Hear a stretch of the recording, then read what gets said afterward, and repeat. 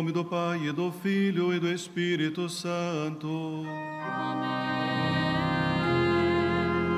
O Senhor esteja convosco. Ele está no meio de nós. Caros irmãos peregrinos, sejam todos bem-vindos à Capelinha das Aparições, para que juntos agora rezar esta Santa Eucaristia. Hoje celebramos o Dia dos Pobres, instituído pelo Santo Padre Papa Francisco. Queremos ter presente tantos quantos aqueles que são injustiçados ou que passam necessidade nesta vida. Reconheçamos então os nossos pecados para melhor celebrar esta Santa Eucaristia.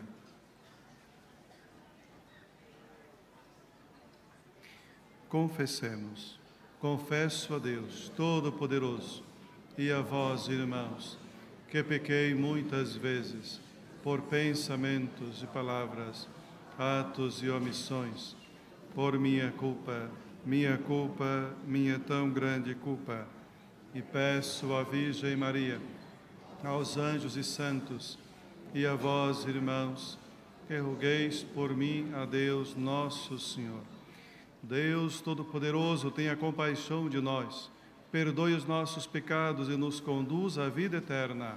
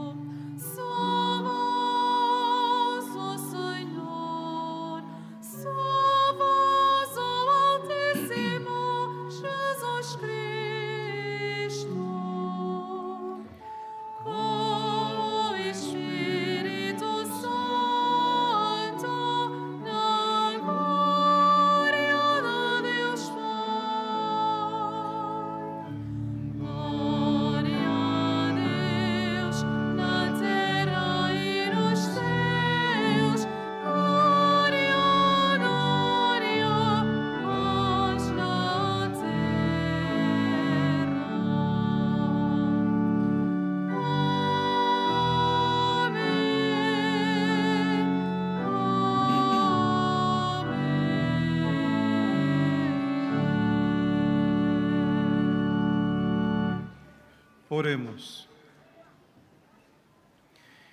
Senhor nosso Deus, concedei-nos a graça de encontrar sempre a alegria no vosso serviço, porque é uma felicidade duradoura e profunda ser fiel ao Autor de todos os bens.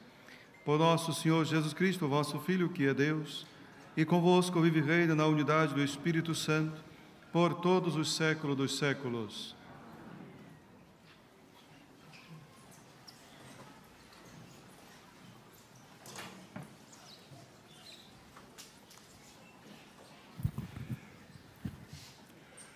Leitura da profecia de Daniel. Naquele tempo surgirá Miguel, o grande chefe dos anjos, que protege os filhos do teu povo. Será um tempo de angústia, como não terá havido até então, desde que existem nações. Mas nesse tempo, virá a salvação para o teu povo, para aqueles que estiverem inscritos no livro de Deus. Muitos dos que dormem no pó da terra acordarão, uns para a vida eterna, outros para a vergonha e o horror eterno. Os sábios resplandecerão como a luz do firmamento. E os que tiverem ensinado a muitos o caminho da justiça brilharão como estrelas por toda a eternidade. Palavra do Senhor.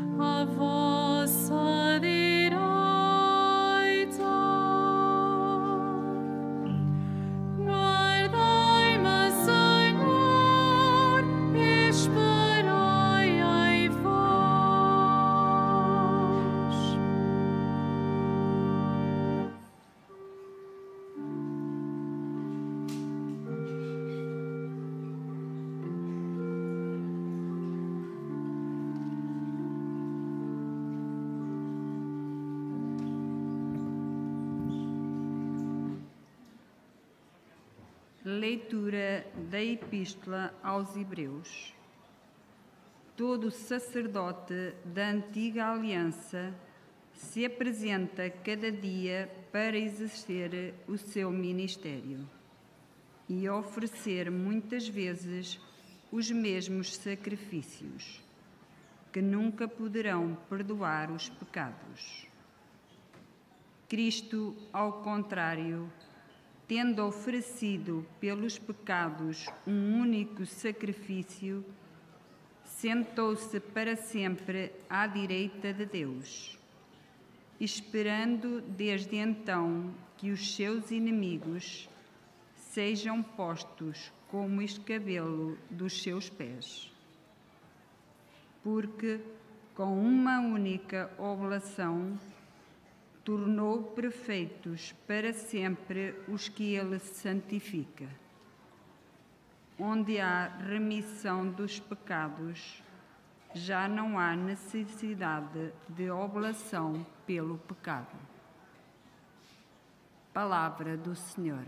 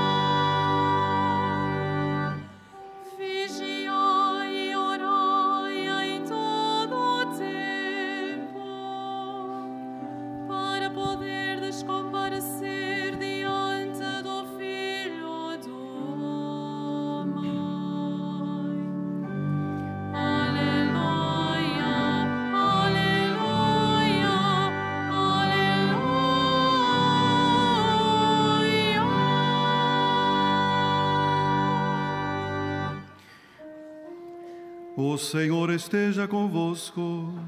Ele está no meio de nós. Evangelho de nosso Senhor Jesus Cristo, segundo São Marcos. Glória a vós, Senhor. Naquele tempo, disse Jesus aos seus discípulos: Naqueles dias, depois de uma grande aflição, o sol escurecerá e a lua não dará sua claridade. As estrelas cairão do céu e as forças que há nos céus serão abaladas. Então hão de ver o Filho do Homem vir sobre as nuvens, com grande poder e glória. Ele mandará os seus anjos para reunir os seus eleitos dos quatro pontos cardeais, da extremidade da terra à extremidade do céu. Aprendei a parábola da, fi da figueira. Quando os seus ramos ficam tenros e brotam as folhas, sabeis que o verão está próximo. Assim também, quando virdes acontecer estas coisas, sabei que o Filho do Homem está perto está mesmo à porta. Em verdade vos digo: não passará esta geração sem que tudo isso aconteça. Passará o céu e a terra, mas as minhas palavras não passarão. Quanto a esse dia e a essa hora, ninguém os conhece, nem os anjos do céu, nem o Filho, só o Pai.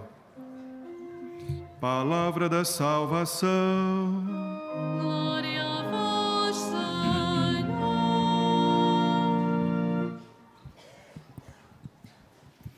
Caríssimos irmãos, ao escutarmos a nossa liturgia da Palavra de Deus hoje, de modo particular, a primeira leitura e esse evangelho que acabamos de escutar, remete-nos sempre para o fim dos tempos para a vinda do Senhor, tanto Daniel, que vai falar de forma que Miguel surgirá, o grande chefe dos anjos, que protege os filhos do teu povo.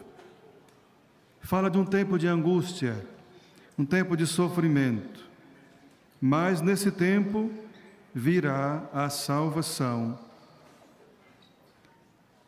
Depois, Jesus, nesse evangelho, vai falar também dos últimos dias, em que o sol escurecerá e a lua não dará sua claridade.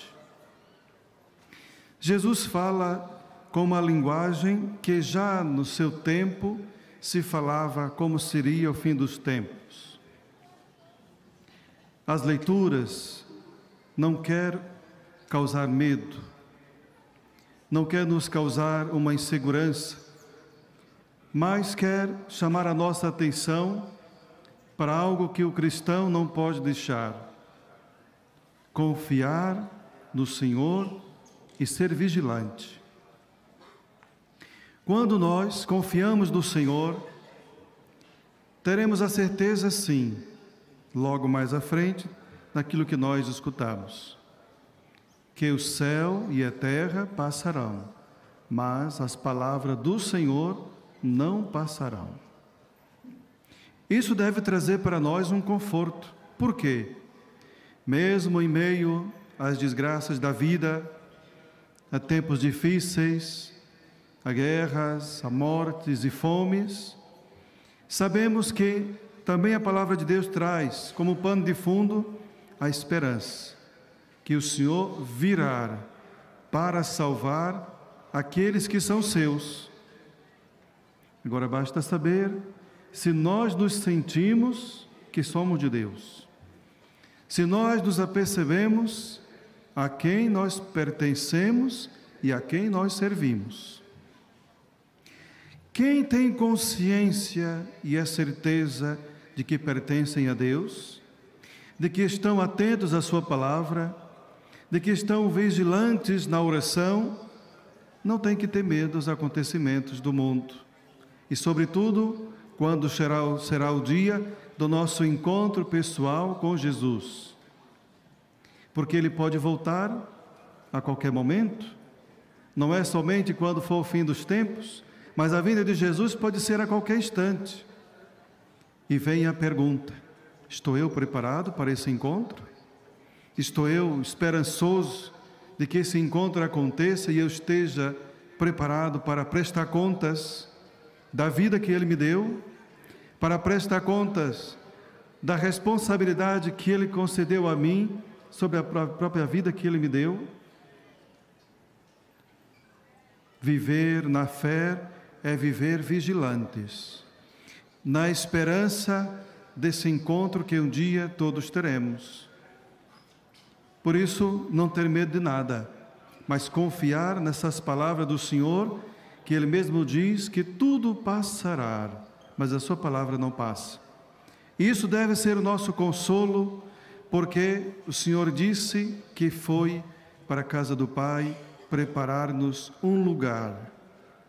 Então, nós temos que ter consciência que tudo que existe, o céu e terra, passarão, mas nós não passaremos também. Por quê? Porque nós somos feitos para a eternidade.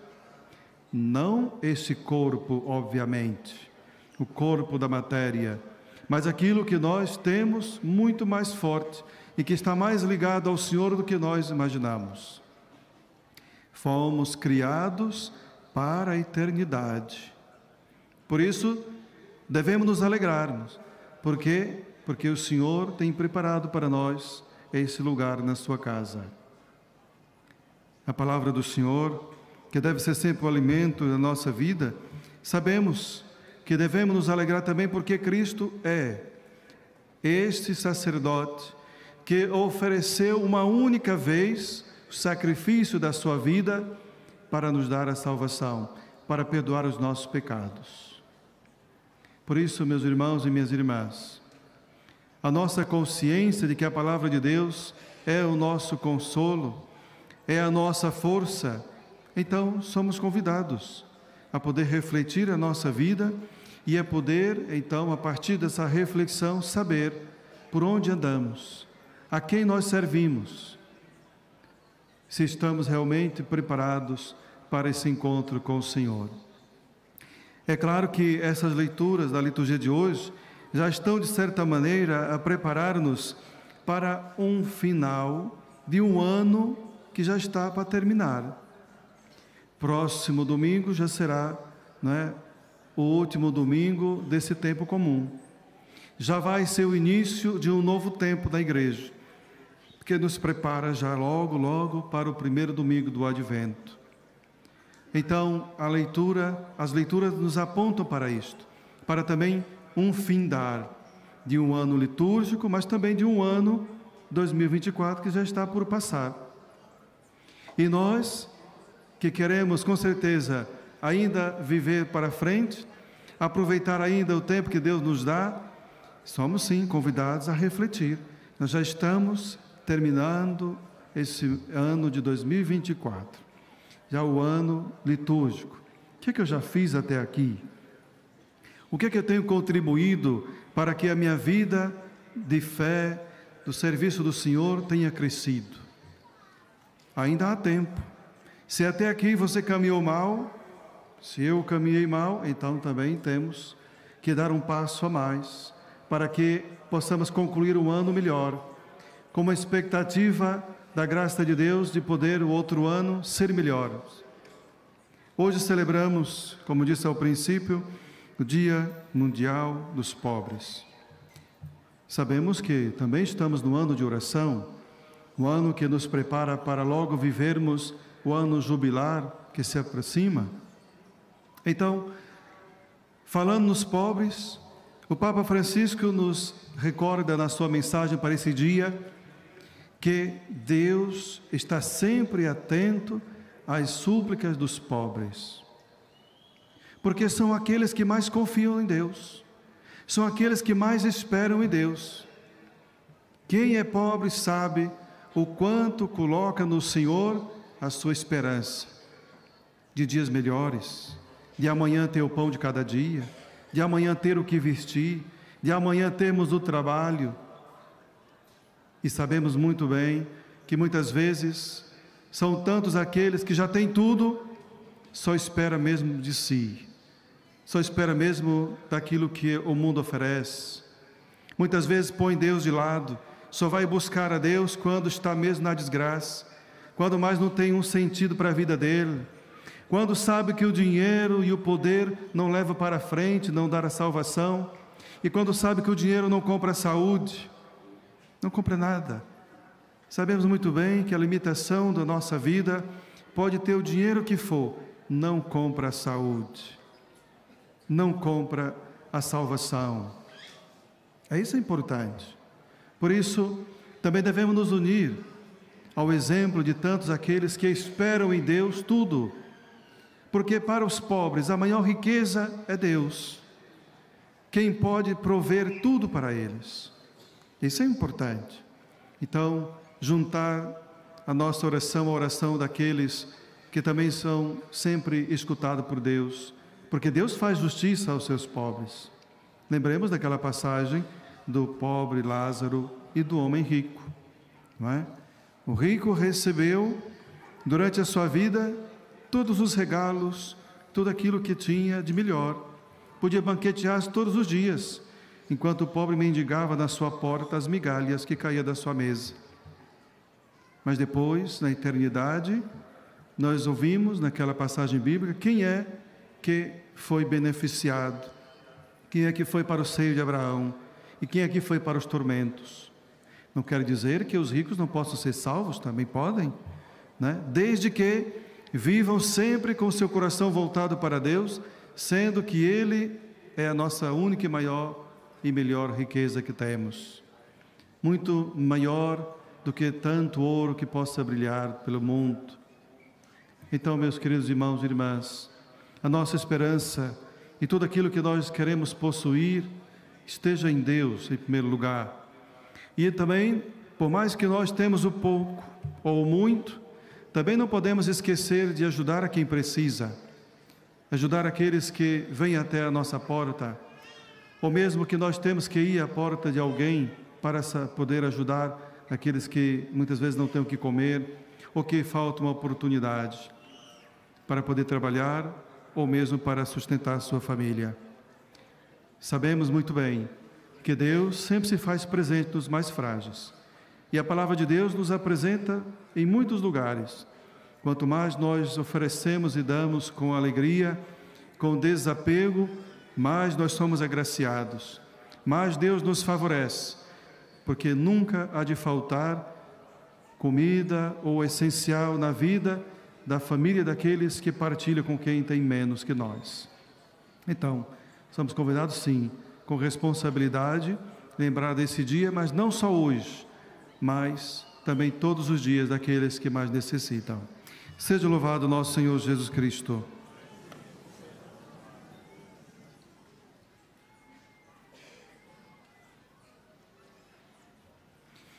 Professemos então agora a nossa fé.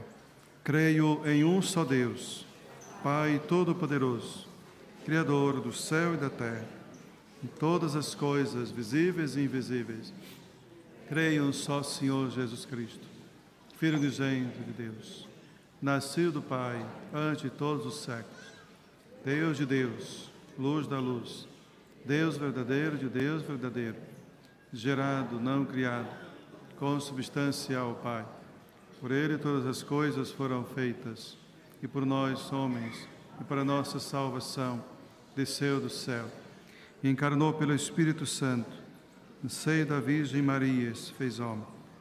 Também por nós foi crucificado, sob Pôncio Pilatos.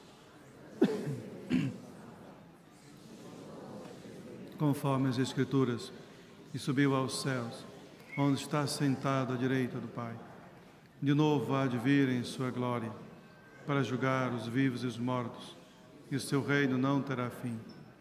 Creio no Espírito Santo, Senhor que dá a vida e procede do Pai e do Filho, e com o Pai e o Filho é adorado e glorificado. Ele que falou pelos profetas. Creio na Igreja, una, santa, católica e apostólica. Professo um só batismo para a remissão dos pecados.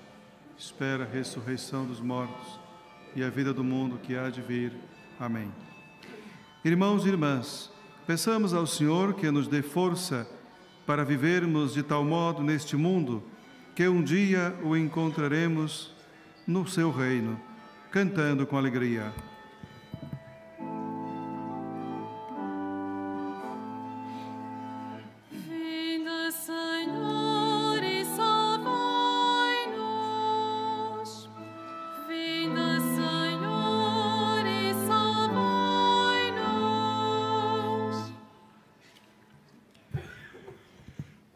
Nosso Bispo Dom Ornelas, pelos prebistros e diáconos, para que anunciem com grande sabedoria que este mundo é passageiro.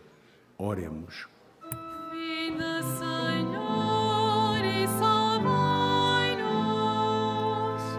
Pela humanidade, para que se renove na justiça, pelos seus chefes, para que descubram que são frágeis e por todos os homens, para que cheguem à luz de Deus.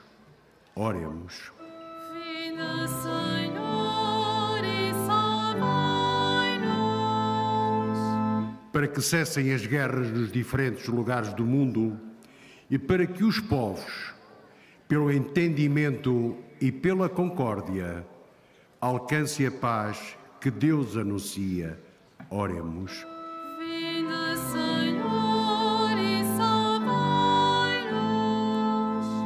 Pelos fiéis, para que Cristo os santifique, pelos que sofrem, para que Ele os alivie, e pelos que esperam novos céus e nova terra.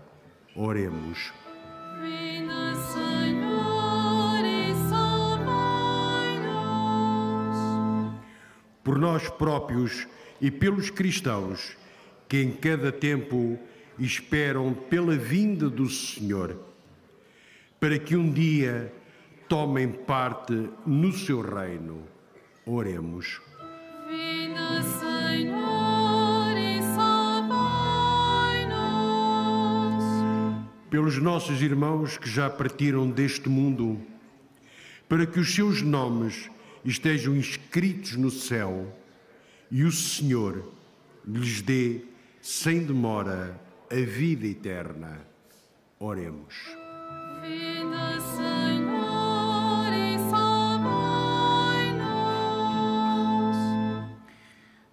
Senhor nosso Deus, que sois o único a saber o dia e a hora em que vai chegar o vosso reino, ajudai-nos a construir convosco, desde agora, os novos céus e a nova terra que esperamos.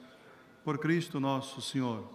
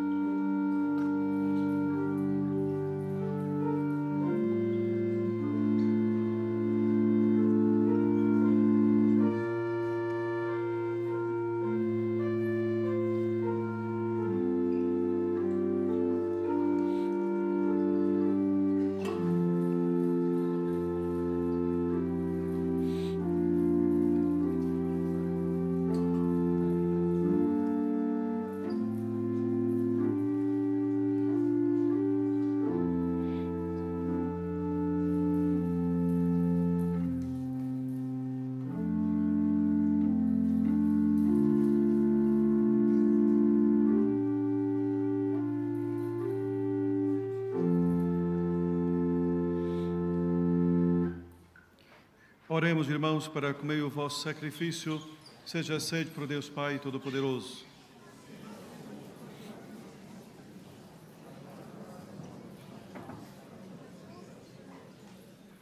Concedei-nos, Senhor, que os dons oferecidos para a glória do vosso nome nos obtenham a graça de vos servirmos fielmente e nos alcance a posse da felicidade eterna por Cristo nosso Senhor. O Senhor esteja convosco. Ele está no meio de nós. Orações ao alto. O nosso coração está em Deus. Demos graças ao Senhor nosso Deus. É nosso dever, é nossa salvação. Senhor Pai Santo, fonte da verdade, da verdade e da vida, é verdadeiramente nosso dever e nossa salvação bem dizer-vos e dar-vos graças, porque nesse dia de festa nos congregastes na vossa casa. Hoje a vossa família reunida para escutar a palavra da salvação e participar do pão da vida, celebra o memorial do Senhor ressuscitado, na esperança do domingo que não tem o caso, quando toda a humanidade entrar no vosso descanso. Então veremos o vosso rosto e louvaremos sem fim a vossa misericórdia. Nesta feliz esperança, com os anjos e os santos, proclamamos a vossa glória, cantando numa só voz.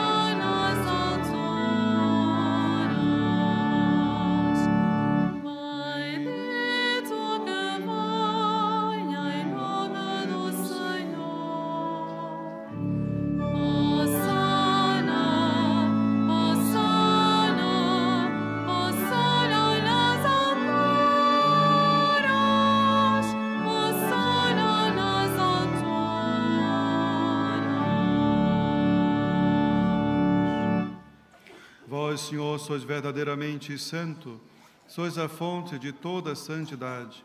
Reunidos na vossa presença, em comunhão com toda a Igreja, ao celebrarmos o primeiro dia da semana, em que nosso Senhor Jesus Cristo ressuscitou dos mortos, humildemente vos suplicamos. Santificai esses dons, derramando sobre eles o vosso Espírito, de modo que se convertam para nós no corpo e sangue de nosso Senhor Jesus Cristo. Na hora em que ele se entregava para voluntariamente sofrer a morte, tomou o pão e, dando graças, partiu e deu a seus discípulos, dizendo: Tomai todos e comei, isto é o meu corpo que será entregue por vós.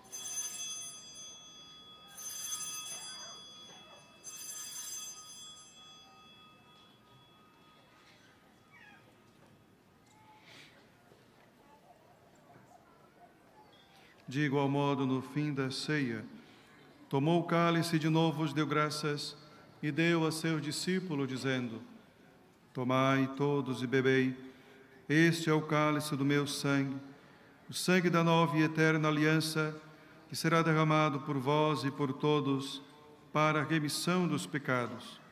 Faze isto em memória de mim.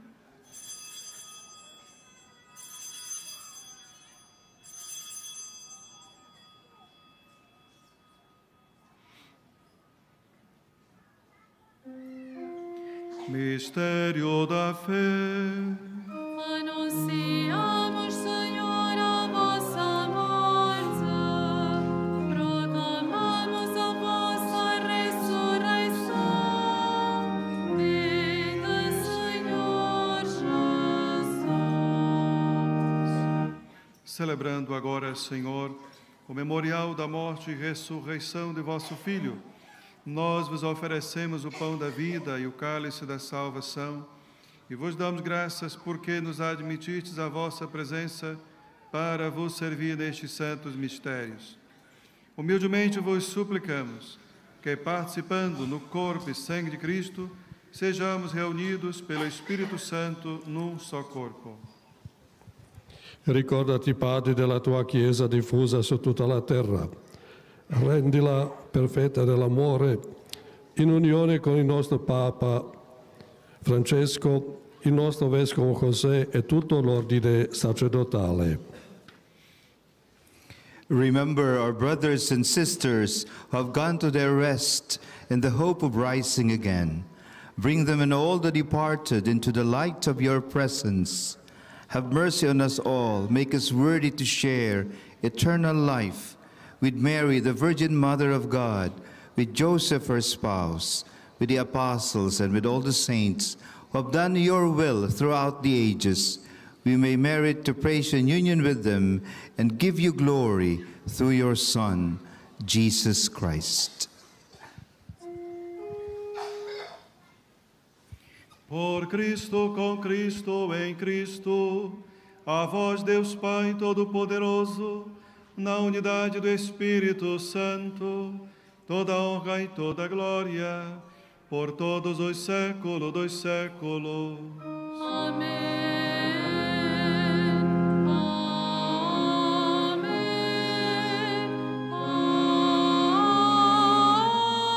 Amém. Num só coração e numa só alma, usamos dizer como o Senhor nos ensinou: Pai nosso que estás nos céus, santificado seja o vosso nome. Venha a nós o vosso reino.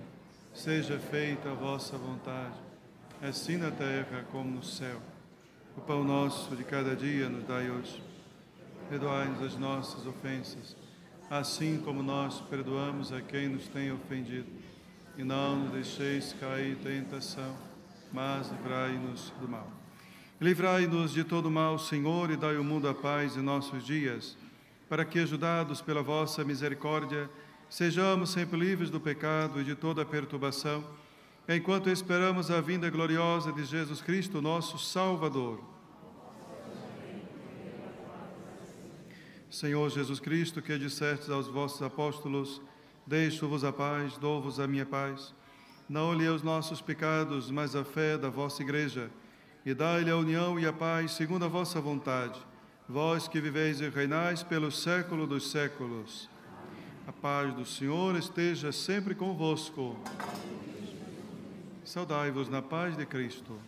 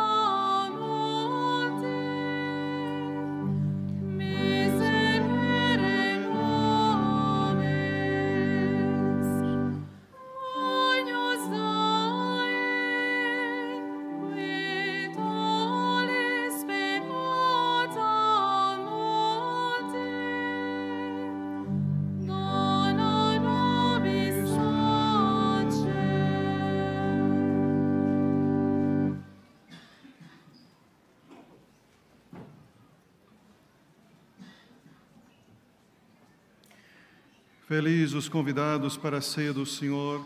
Eis o Cordeiro de Deus que tira o pecado do mundo.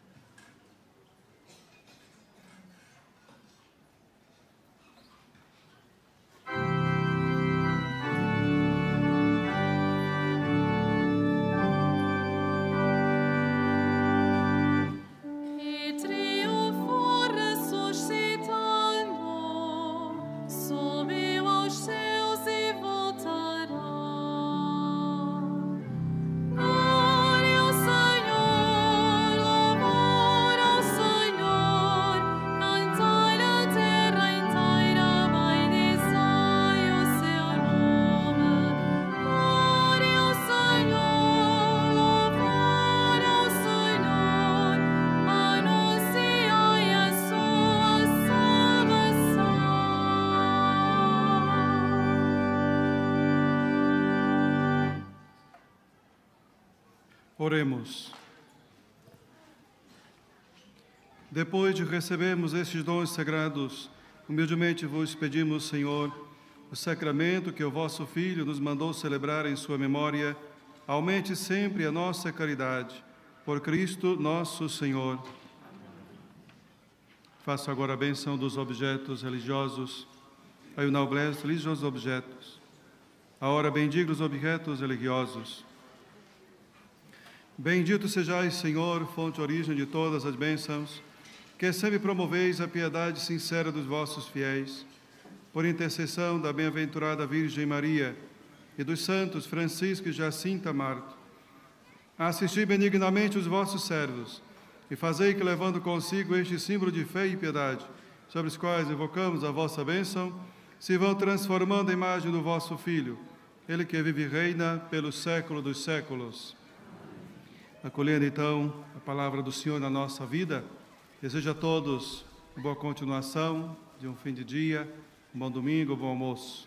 Com as bênçãos de Deus e de Nossa Senhora, recebamos a benção do Senhor. O Senhor esteja convosco. Ele está no meio de nós. Abençoe-vos Deus Todo-Poderoso, Pai, Filho e Espírito Santo. Ide em paz e o Senhor vos acompanhe.